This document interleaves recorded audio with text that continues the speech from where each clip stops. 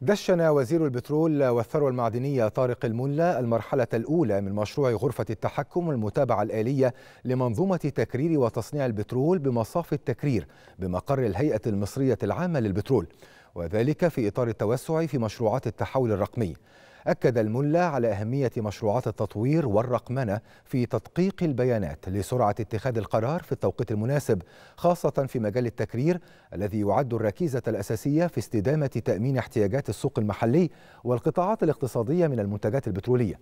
ووجه الملا بالإسراع في تنفيذ كافة مراحل المشروع والمراجعة الدورية لكل مرحلة فضلا عن الاستعانة بالكوادر الشابة.